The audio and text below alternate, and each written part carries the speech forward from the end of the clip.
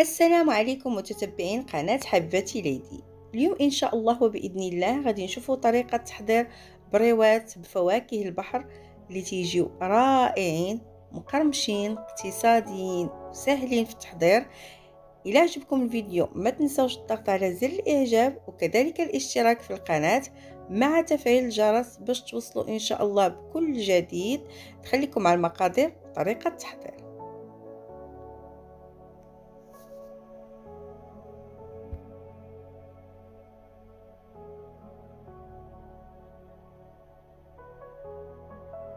بسم الله على بركة الله. غادي ناخذ واحد الكاسرول غنوضعو فيها الماء وغنوضعو فيها قطع ديال الكالامار أولا سيبيا. ونضعو فيها أربعة الوريقات ديال الرند مع ثلاثة الفصوص تاع الثوم ونخليوها على جنب. في نفس الوقت غناخذوا مقلاة غادي نوضعو فيها قطعه ديال الزبدة. غادي نضيفو ليها قليل من الزيت. بنات هنا الزيت اللي توفر عندكم يا زيت الزيتون يا زيت المائدة. من بعد ما تبدأ تذوب شوية الزبدة.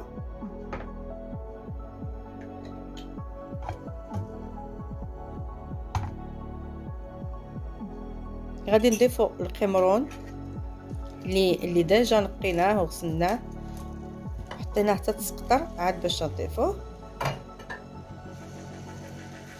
شوية ديال الثوم بودرة هنا أنا درتو بالزايد لأنني ما خدمتش بالثومه في الكروفيت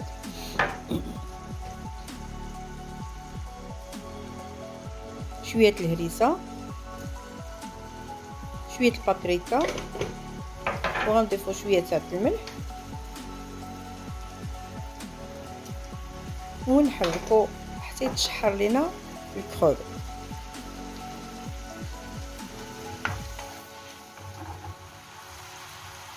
من بعد ما تشحر الكروفيت غنوضعوه على جنب غناخدو cornichons وغادي نحكوه في الحكاكة اللي العيون ديالها شوية كبارين يعني الجهة الكبيرة ماشي الصغيرة بهذه الطريقة. ومن بعد ما طلعت الغليه مجرد البنات شوفوا الطريقة غير هاد الكشكوشة تتبان لكم طلعت هاد الرغوة. صافي تنصفيه ما تنتسناوش حتى تيدخلوا الطياب اولا تيقصح. حيت قد ما كثرنا له الطياب قد ما تيقصح لينا الكلامر تنصفيه الماء ديالو تنحتفظوا به هو اللي غادي نوضعوا فيه ال vermicelle نتركوا ال vermicelle على جنب حتى وكان تطلق لينا مزيان. تناخذوا الحامض وتنقطروه على الكروفيت من بعد ما وجد لينا وتناخذوا الكالامار أو ال sépia كيف ما قلت لكم اللي اللي وجد عندكم وعلى حساب المتوفر تنقيوها وتنحيدوا لها الشوائب.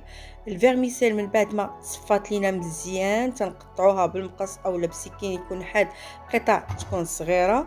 تنضيفوا الكروفيت على ال vermicelle وفي نفس المقلاة غادي نستعملوا فيها غادي نشحروا فيها الكالامار قطع المكعبات ديال الكالامار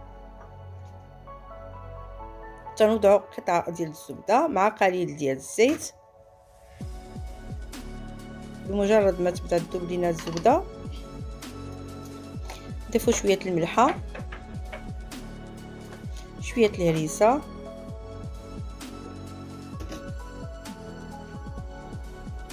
نضيفوا ال cornichon ديالنا حتى هو على الحشوه اللي غادي نعمروا بها البريوات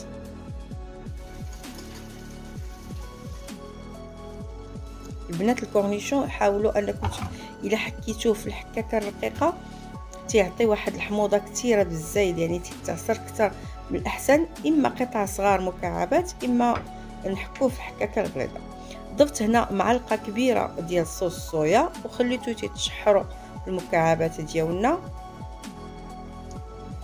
من بعد عصرت شوية الحامض.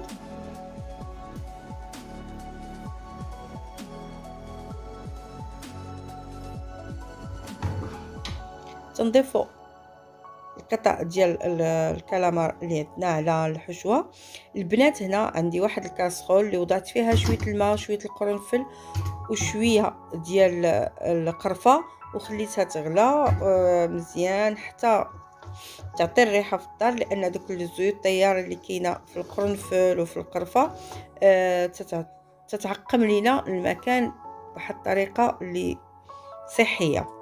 ضفت شوية ديال القزبر معدنوس ضفت الزيتون مقطع قطع صغيرة بزاف.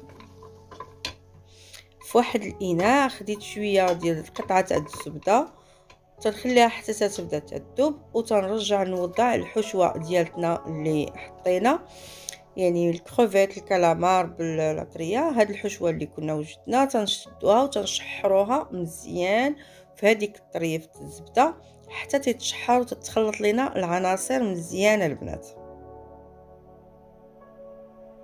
شوية ديال الكركم اولا الخرقوم البلدية البنات ديالنا لأنه صحي تنديروه بالزايد.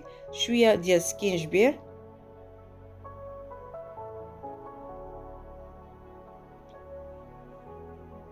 شوية ديال الابزار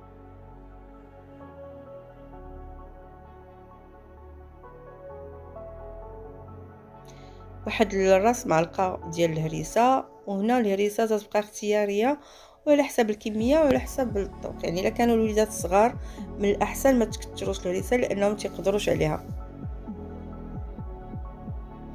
من بعد ما شحرت الحشوة مزيان تنحاولوا أننا نشكلوا البريوات ديالنا بهذه الطريقة وكاين عدة طرق باش نشكلوا البريوات تناخذ شوية زيت الزيتون مع شوية الهريسة مع شوية توم بودرة تنحرطهم مزيان وهما اللي تنبدا ندهن بهم غير واحد شوية. ماشي بزاف لأنه باش ما يعطيوناش داك اللون الأحمر.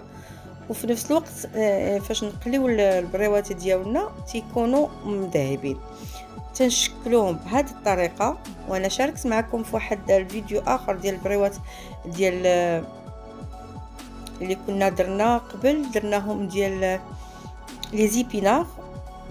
وبطريقة أخرى. هنا تناخذوا البريوات تنقسموها على جوج لأن الورقة بغيتو تنقسموها على جوج إلا كانت حجم صغير وتنشكلوها بهذه الطريقة. تنقدروا نحتفظوا بهم حتى في المجمد بنفس الطريقة.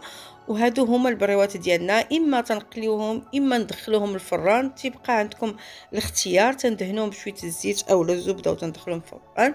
تنتمنى إن شاء الله بإذن الله يكون نال الإعجاب ديالكم هذا الفيديو. وإلى فيديو آخر إن شاء الله في القريب العاجل.